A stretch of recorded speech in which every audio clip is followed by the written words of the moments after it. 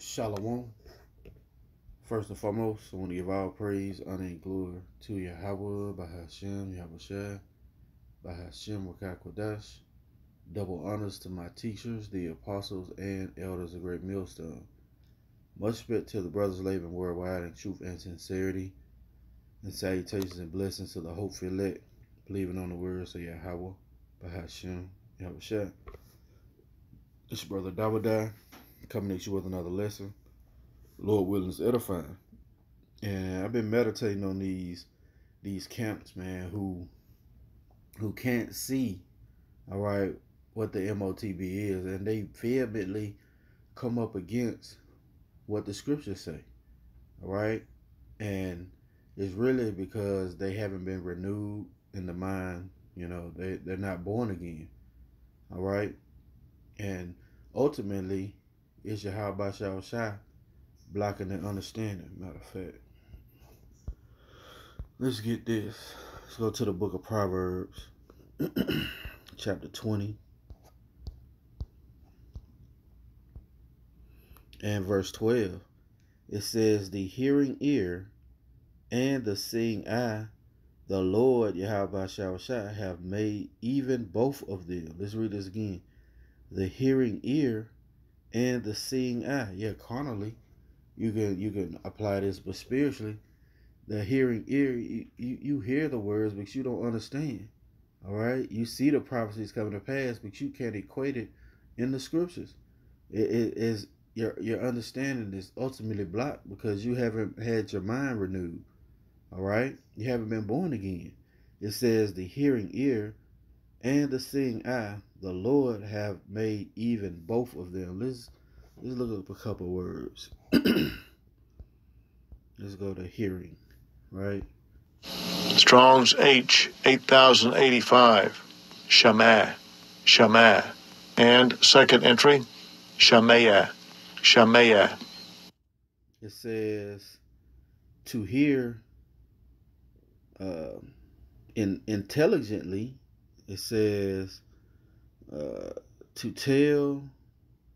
It says attentive, call together, consent, consider, be content, declare, diligently discern. You're not discerning the times. You're not discerning, all right, what the MOTB is, right?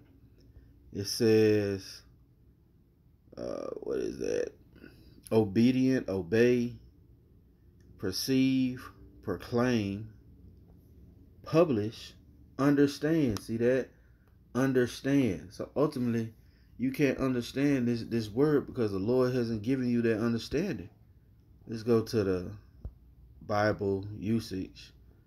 It says to hear, to listen, obey, to hear, perceive by ear, to hear of or concerning, to hear, have power to hear, to hear with attention or interest.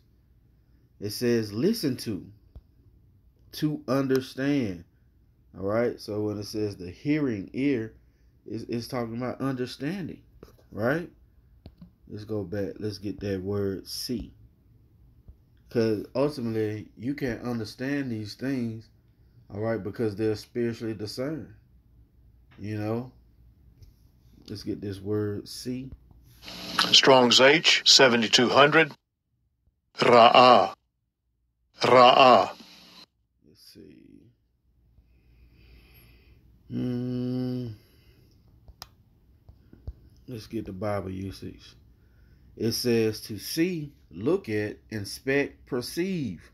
You can't perceive all right, even with all this information coming out, all right, regarding the MOTB, you can't you can't perceive that what you're teaching is wrong. And the Lord said, "Little leaven, leaven the whole lump." All right, that's why you you counts can't can uh proclaim that you have the 100% truth. Right? It says to see, to see, perceive, to see, have vision. See, you can't look afar off. All right, you're you're not looking afar off. All right.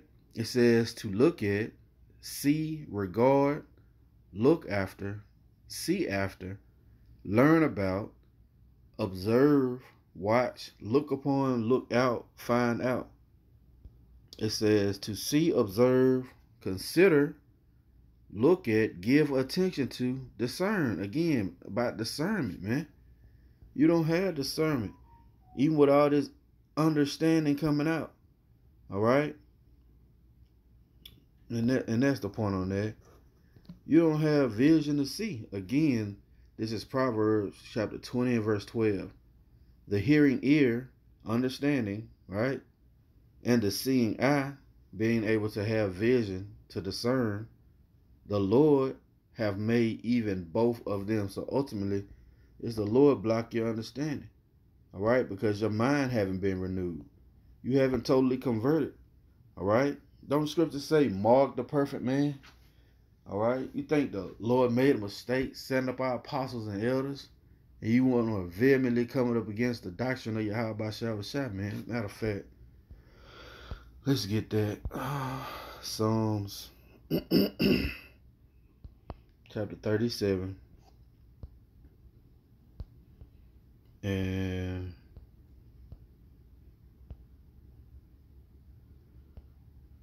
Psalms 37 and 37, it says, Mark the perfect man, and behold the upright, for the end of for the end of that man is peace. See? So you're you're not marking the perfect man. You're really trying to go off your own understanding. All right? The Lord has set up leaders. you read that in Second Ezra chapter one. All right? He set up leaders to uh to facilitate the coming back of the sheep. All right? And you're supposed to mark that perfect man. All right? And then you got to actually go into these words to see whether or not the things that are being taught are true. All right? Like the church of Berea. So this is Romans chapter 12 and verse 2. It says, Be not conformed to this world, but be ye transformed by the renewing of your mind, that ye may prove what is that good and acceptable and perfect will of the Most High. So you got to be renewed in your mind. All right? And that's how it's going to come about. It's not going to come about, Salaki. It's not going to come about, you know, you, you going off your own understanding. All right? Scriptures tell us that no prophecy of the scripture is of any private interpretation. Okay? And, and these guys, you know, it, it what is the uh, word I want to use? It has to play out that way. Someone has to fall into that lap, right? Again, Romans 12 and 2 Be not conformed to this world, but be ye transformed by the renewing of your mind, that ye may prove what is that good and acceptable and perfect will of the Most High. And ultimately, you know, the, the perfect will of Yahawashi is to destroy this place. All right. In the meantime, he's going to have Esau, all right, push this MOTB. All right. Scripture say it causes all. Right. It didn't just say uh, some. It says causes all. This is St. John chapter 3 and verse 3. Yahweh answered and said unto him, Verily, verily, I say unto thee, except a man be born again, he cannot see the kingdom of heaven. You're not going to have vision afar off, man. All right, to understand the prophecies. All right, that's a critical prophecy that you can't get wrong. Okay, again, you're going to have to come as newborn babes. All right, and the Lord used this analogy of a baby. When you're a baby, you're helpless. You're at the mercy of your caretaker. All right, they got to teach you how to speak, you know, they got to feed you, they got to clothe you, right? They got to wipe your nasty ass, clean up after you, right? But the Lord uses this analogy except a man be born again, he cannot see the kingdom of the Most High. You don't have a vision, or you don't have vision to see afar off, all right? And, and you coming in this thing trying to blaze your own path is not going to work. Verse 4 Nicodemus said unto him, How can a man be born when he is old? Can he enter the second time into his mother's womb and be born and see he was straining at a net. You know, the Lord was using something tangible to explain something spiritual, and he went straight carnal. And these guys are doing the same thing. They're straining at a net and swallowing a camel. All right, they they trying to make it harder than what it is. All you got to do is go into the words, right? Verse five, Yahawashi answer, Verily, verily, I say unto thee, except a man be born of water and of the Spirit, he cannot enter into the kingdom of the Most High. See, you got to be born of the water, Watch with the uh, water of this word, and of the Spirit. Ultimately, the Spirit ain't resting with you guys. All right. Then the Lord said He's to send the the Comforter, which is the Holy Spirit, and He will teach you all things and bring all things that I have said to you back to your remembrance. Paraphrasing, right? And you guys don't have it, man. This is First Peter chapter 2 and verse 2. As newborn babes, see, as newborn babes, desire the sincere milk of the word, that ye may grow thereby. Ultimately, these guys are not growing because they haven't desired the sincere milk of the word. All right? They haven't cast off those things of the world. Ultimately, you know, that's the Lord, Yahawashi Shah blocking the understanding. But as newborn babes, you're supposed to desire the sincere milk of the word. All right? Born again. You know? And again, these guys, you know, it's a a very privileged position to be able to understand this truth. All right, understand what the prophecies are. All right, and and and hold fast to that because the Lord is getting ready to come down with great wrath, man. The Lord is really setting the stage for all these things to come to pass. All right, demonization. All right, the MOTB being made mandatory. Right, famine, teeth of wild beasts. All these things are occurring at the same time. You got droughts around the world, food shortages, you know. And these guys want to hold fast to some bullshit doctrine. It's a spiritual mob. And you see the physical attributes, all right, or the physical manifestation of these things shown to you. All right? It ain't just, you know, we we speaking out our own vain opinion. No. The Lord is showing you. This thing can be used to track you. All right? This thing can be used to buy and sell. This thing can hold all your medical information, all your information, period. All right, as the scripture plainly say, it's going to cause all, both small and great, rich and poor, to receive that mark. Okay? But again, you're not designed the sincere milk of the word. All right, this thing is is really uh plain, right? Let's get that.